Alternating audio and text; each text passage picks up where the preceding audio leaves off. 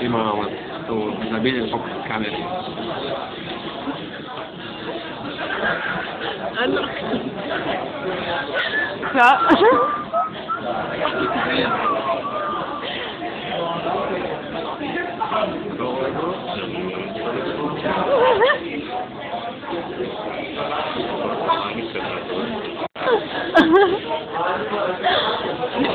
Ovo ću biti.